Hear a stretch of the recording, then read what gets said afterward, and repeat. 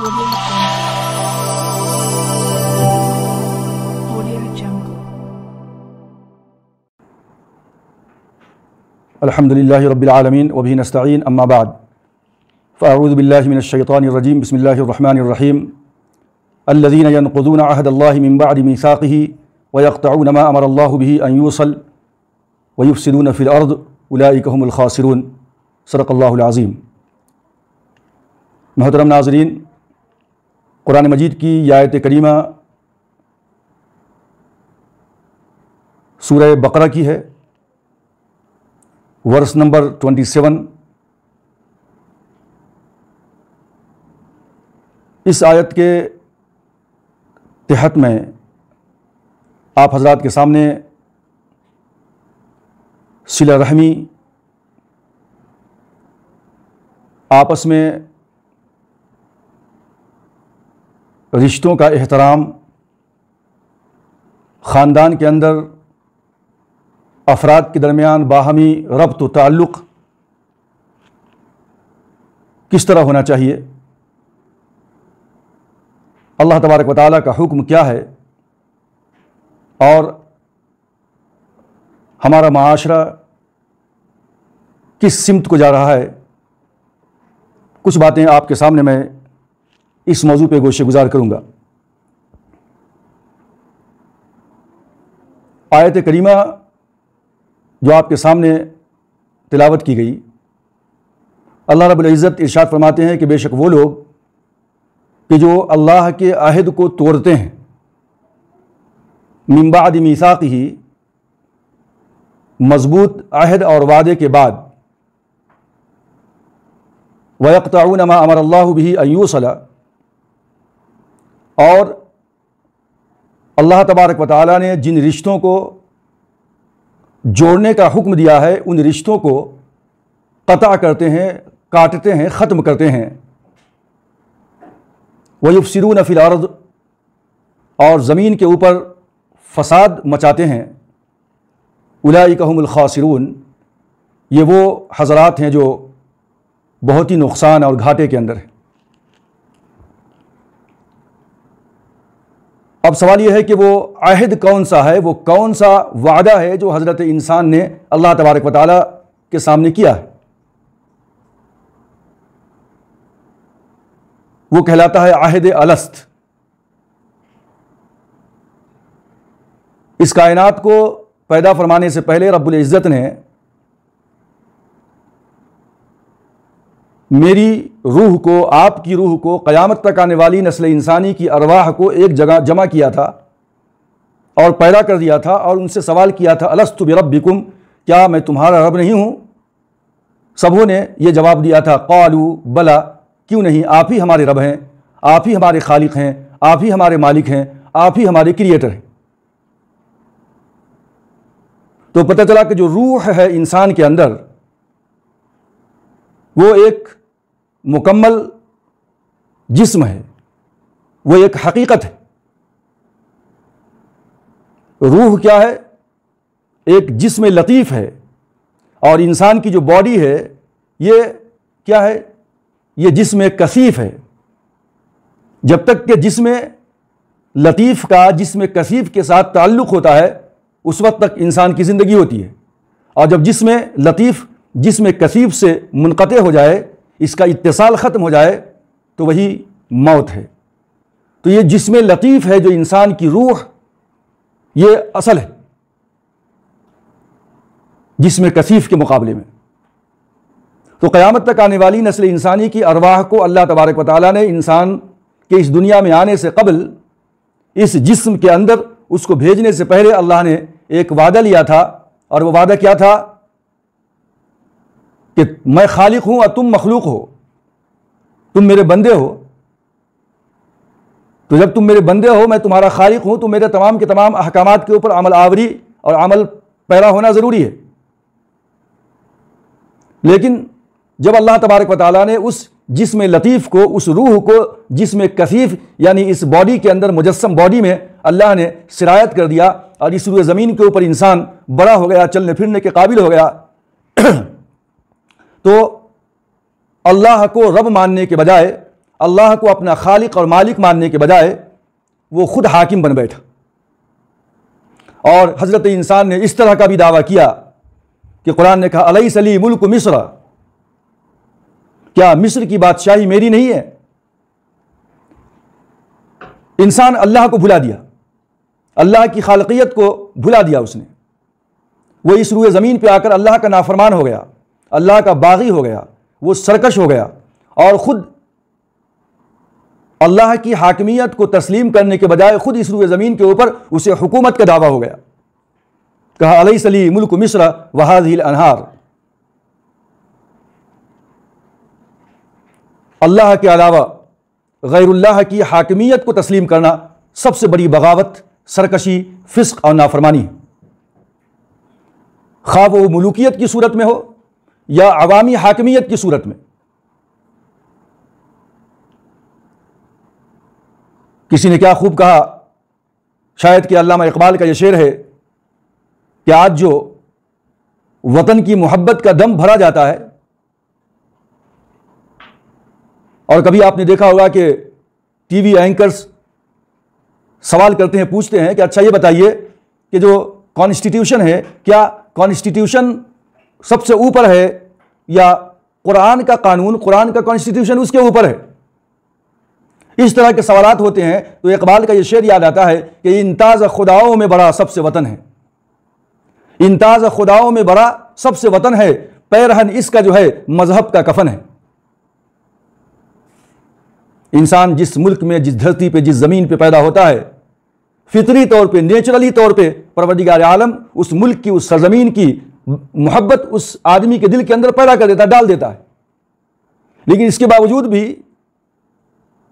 ज़बरदस्ती मोहब्बत कदम भरवाने की कोशिश की जाती है। मोहब्बत है, फिर भी मोहब्बत को इस कदर बढ़ावा दिया जाता है, गोया कि वो ये ज़मीन हाकिम का दर्जा रखती है। ये ज़मीन खुदा का दर्जा रखती है। ये ज़मीन गोया के जो है, माँ का दर्जा रखती है। जैसा कि इस मुल्क के बाशिंदे समझते हैं। लेकिन मुसलमानों का अकीदा, उनका मज़हब इस बात की तालीम देता है कि कायनात का जर्रा जर्रा अल्लाह तबारक वाली की बनाई हुई शय है। कायनात का जर्रा जर्रा ये सब के सब हज़रत इंसान के लिए है और इंसान का खालिक व मालिक सिर्फ़ एक रब है जिसने इस धरती को पैदा किया, सारी कायनात को पैदा किया, इसके जर्रे जर्रे को पैदा किया। वो कोई धरती, कोई मुल्क, कोई जगह किसी की माँ, किसी का खालिक और किसी का मालिक नहीं बन सकता। तो ये जो वतन वतन की मोहब्बत की बात की जाती है, गोया कि खुदा की तरह इसको पूछते हैं बाज लोग। असल खुदा को छोड़ करके जिस खुदा ने सब कुछ पैदा किया, उन असबाब को जो जीने के हैं, उनको अरबाब का रब का दर्जा दे देते हैं।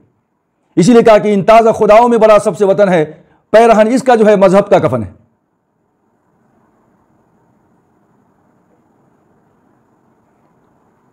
अल्लाह ने फरमाया यन कदून आहद अल्लाहबादी मिसाक़ी अहद अलस्त में जो बंदे ने जो वादा किया था अल्लाह से कि तू मेरा रब है, इस रुए ज़मीन पे आने के बाद बंदा सरकश हो गया, नाफरमान हो गया और अपने उस अहद अलस्त में जो इकरार किया था, उससे मुनहरिफ हो गया बंदा।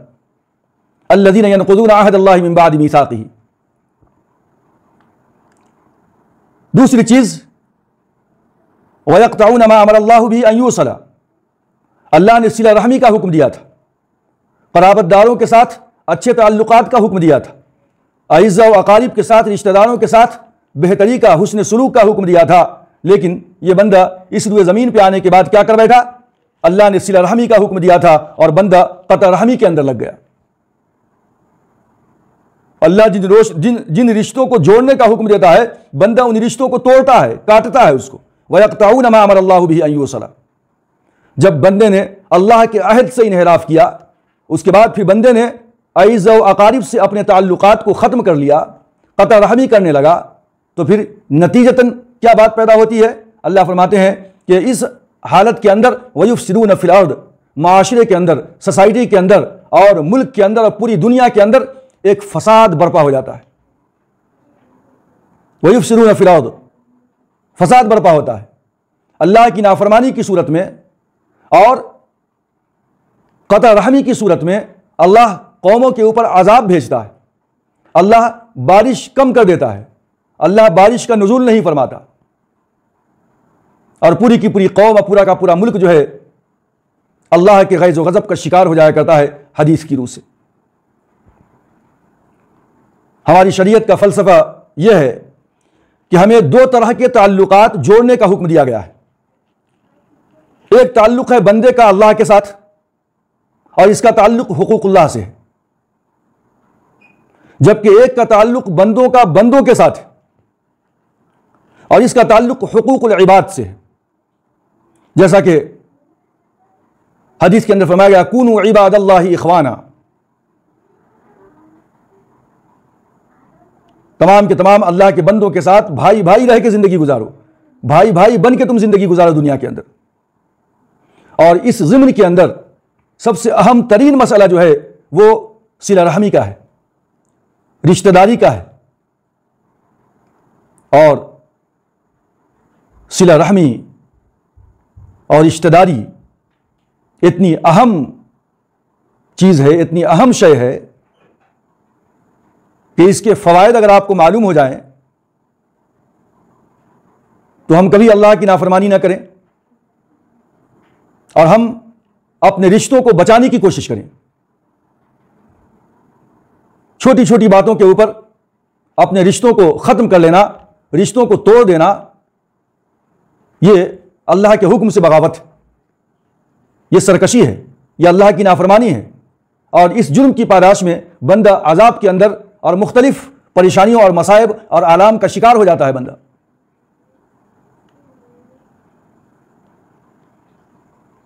अब अगर इनफरादी तौर पे और इज्तमाही तौर पे बंदा अल्लाह का हो जाए और अल्लाह से अपने रिश्ते को मज़बूत कर ले, अपने ताल्लुक को अल्लाह से जोड़ ले बंदा, इनफरादी तौर पे इंडिविजुअली और इज्तमाही तौर पे, हमारे घर के तमाम अफराद अल्लाह से जुड़ जाएँ। एक एक शख्स इनफरादी तौर पे अल्लाह तबारक वाली से अपने ताल्लुक को इस्तेवार कर ले, मज़बूत कर ले। और उसके बाद हमारे घर का एक एक फ़र्द अपने तमाम के तमाम अज़ व अकारीब के साथ अच्छे ताल्लुकात को जो है इस्तेवार करे, अच्छे ताल्लुकात पैदा करे। उनके साथ हुसन सलूक करे, मेल जोल रखे, अच्छी गुफ्तगु करे, बड़ों का अदब लिहाज कायम रखे, छोटों के ऊपर शफकत को बरकरार रखे। ऐसे माहौल के अंदर अगर बंदा है तो फिर अल्लाह की रहमतें और अल्लाह की बरकतें कैसी होती हैं, मैं हदीस की रोशनी के अंदर आपको समझाऊँगा।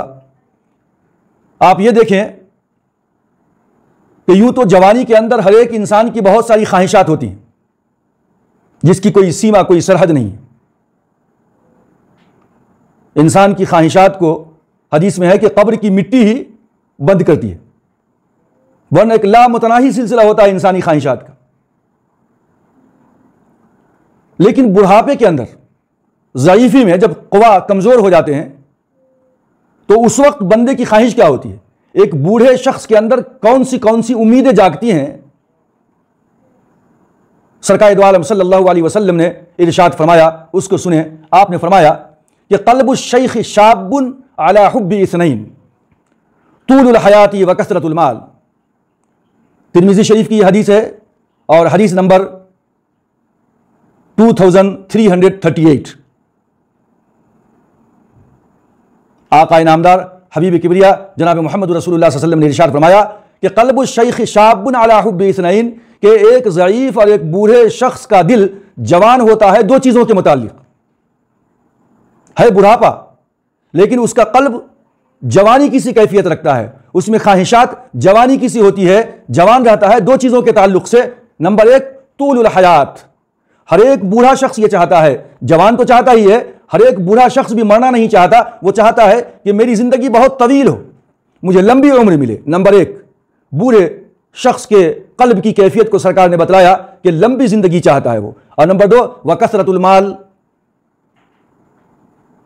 माल की बढ़ोतरी। माल बहुत ज़्यादा हो उसके पास, ताकि दुनिया के अंदर उसका नाम हो,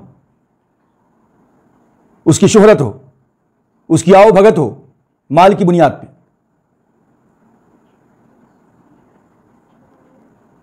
अरबी का शायर कहता है कि इज़त रिजालत अवलादुहा व बुलियत मिनकी बरी अजसा दिहा वजालत असकामुहा तातादुहा कुल्लु ज़रूर इनकदना हसादहा। कि जब एक मर्द की, एक इंसान की औलाद की औलाद हो जाए इज़त औलाद हुआ गोया कि एक आदमी दादा और नाना बन जाए।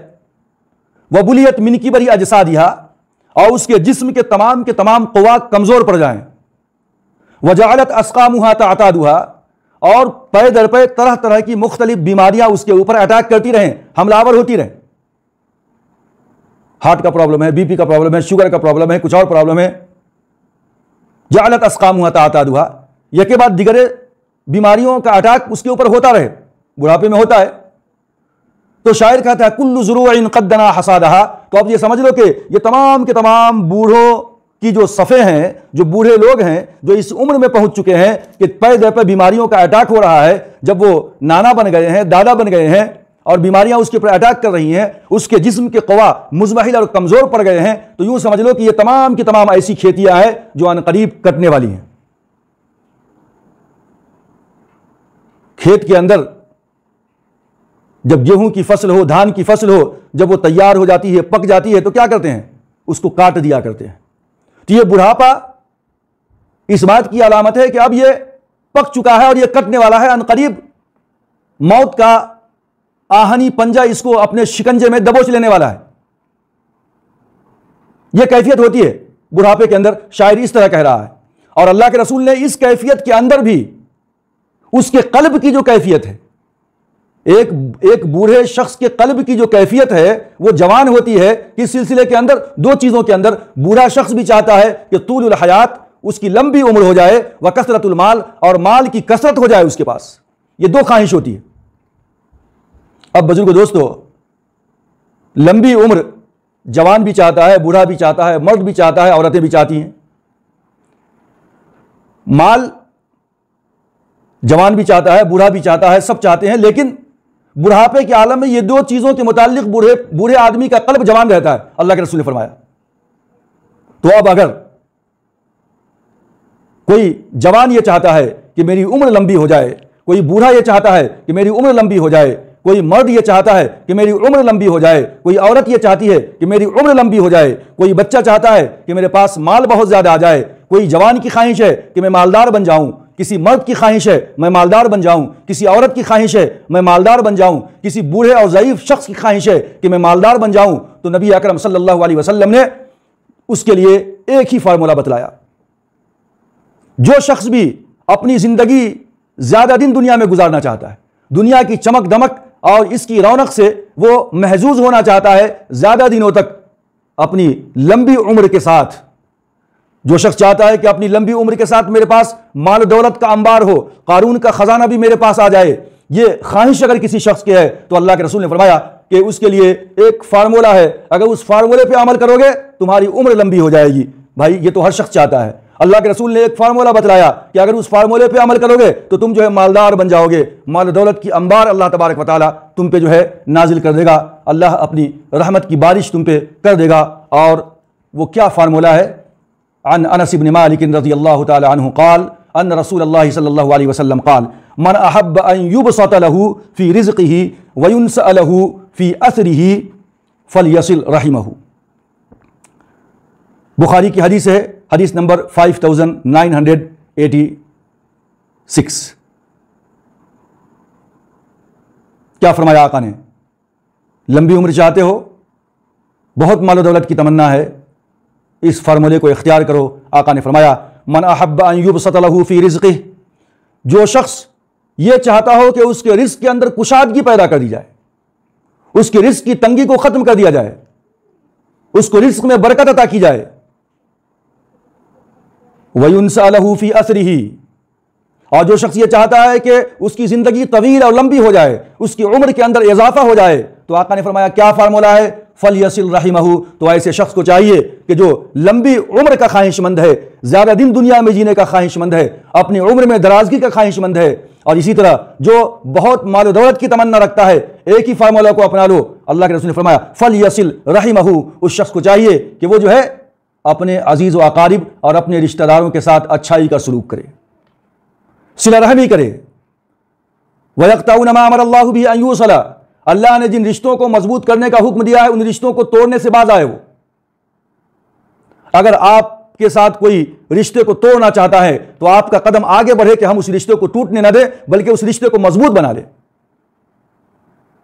अगर ये एक फार्मूला पे हमने अमल कर लिया तो इन हमारे रिस्क के अंदर भी बरकत होगी माल दौलत की कसरत भी अल्लाह अता फरमाएगा, और फिर इन हमारी उम्र के अंदर अल्लाह तबारक वाली दराजगी पैदा फरमा देगा। अल्लाह उम्र में बरकत अता फरमाएगा।